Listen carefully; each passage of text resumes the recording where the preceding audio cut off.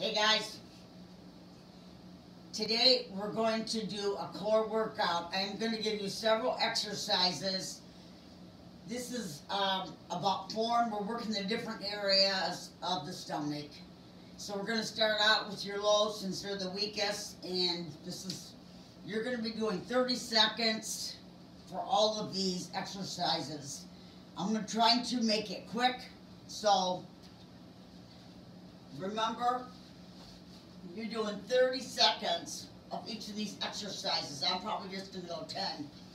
Okay, we're going to do the pendulum halo. So your back is flat, arms out. You're going to lift up. Lift up.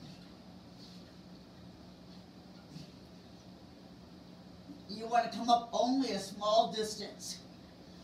Lift up. Pull the abs in. So you're going to go 30 each way. Now we're going to go obliques. The obliques, um, you're going to almost like, you're going to bring it up a small distance. And then pull yourself down slowly. And you're lifting up, small difference, back flat,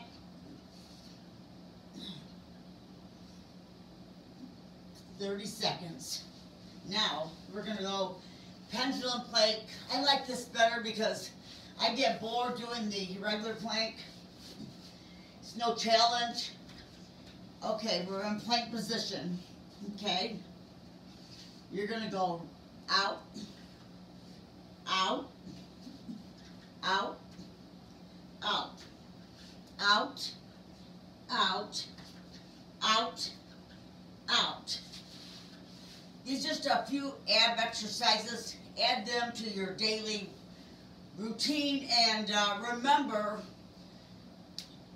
abs are made in the kitchen, so you have to kind of, what you're going to have to do is start changing your diet if you want to see them.